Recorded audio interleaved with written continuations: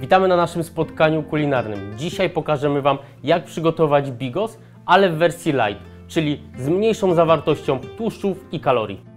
A skoro bigos, to głównym składnikiem tego dania jest kapusta. Wyróżnia ją duża zawartość witaminy C, witaminy K i błonnika pokarmowego, a także związków niezwykle ważnych w profilaktyce chorób przewlekłych.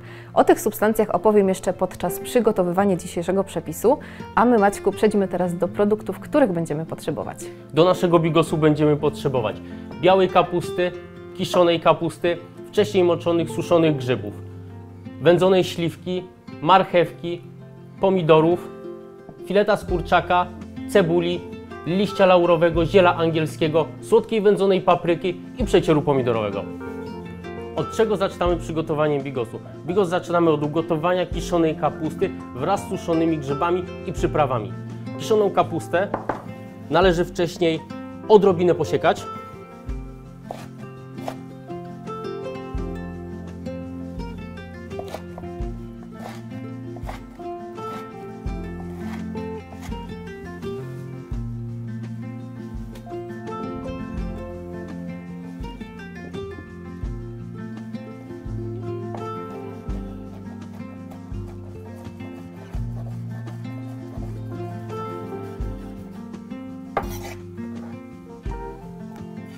Do kapusty i do grzybów dodaję teraz przyprawy. Liść laurowy i ziele angielskie. Teraz całość zalewam bulionem jarzynowym i gotuję około 30 minut na średniej mocy palnika.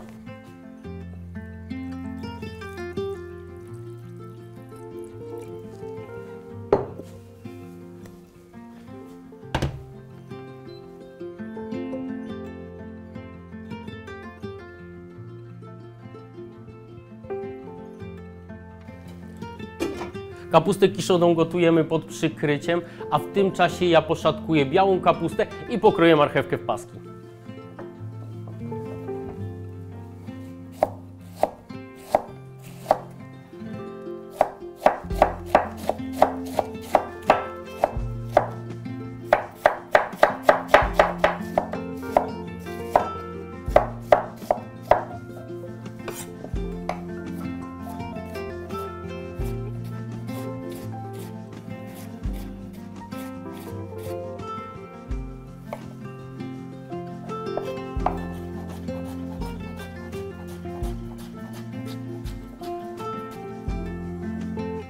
Całość przekładam do miski, będziemy ją później dodawać do gotującej się kapusty kiszonej.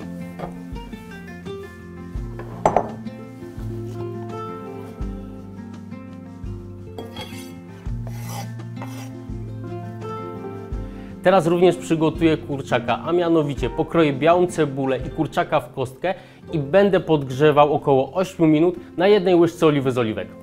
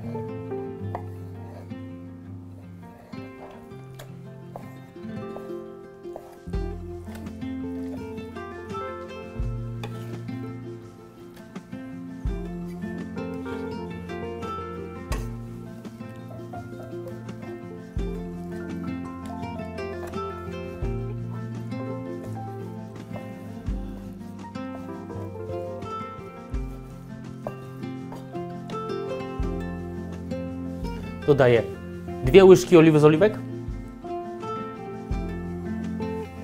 Całość zostawiam na połowie mocy palnika i podgrzewam około 8 minut.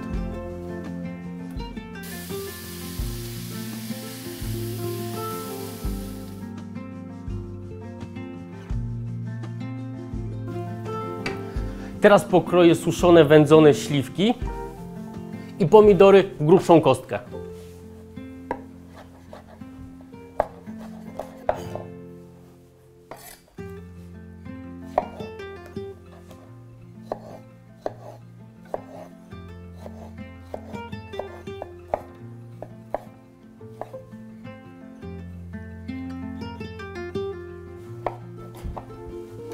Teraz dodaję to na patelnię wraz z koncentratem pomidorowym i słodką wędzoną papryką.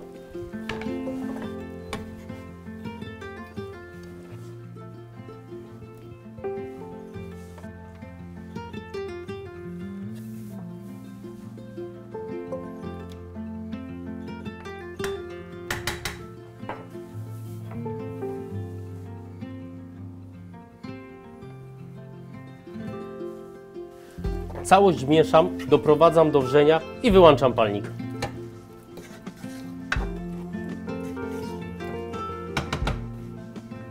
Natalia, co sprawia, że kapusta jest tak cennym warzywem dla naszego zdrowia? Kapusta należy do warzyw krzyżowych, a w nich obecne są izotiocjaniany i indole. Związki te wykazują działanie przeciwnowotworowe, ponieważ zmniejszają aktywację czynników rakotwórczych i zwiększają ich detoksykację. A wśród tych związków na szczególną uwagę zasługują dwa: sulforafan i indolo 3-karbinol. Oprócz silnych właściwości przeciwnowotworowych i przeciwzapalnych, zapobiegają one chorobom serca, chronią nasz mózg przed uszkodzeniami, a dodatkowo sulforafan zmniejsza kolonizację bakterią Helicobacter pylori, która wpływa na powstawanie wrzodów żołądka. W takim razie, jak często spożywać warzywa krzyżowe? Warzywa te warto wprowadzić do swojej diety przynajmniej raz w tygodniu, a najlepiej dwa do trzy razy w ciągu tygodnia, zarówno w postaci soków, w postaci gotowanej, ale też kiszonej. Po 30 minutach do kiszonej kapusty dodaję poszatkowaną białą kapustę i pokrojoną w paski marchewkę. Doprowadzam do wrzenia i na większej mocy palnika gotuję około 10 minut.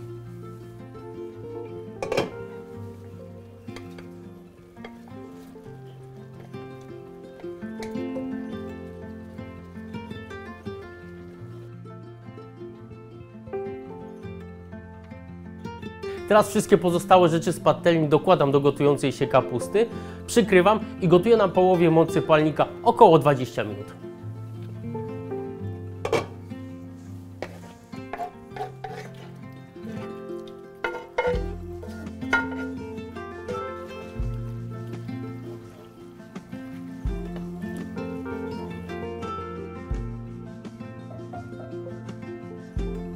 Bigos z kurczaka mamy gotowy. Pozostaje nam go tylko doprawić solą i pieprzem.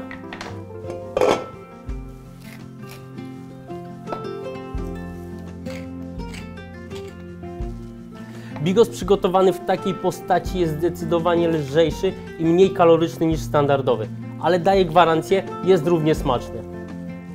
Taką wersję bigosu możemy podać z gotowanymi ziemniakami bądź ewentualnie z chlebem żytnim robionym na zakwasie.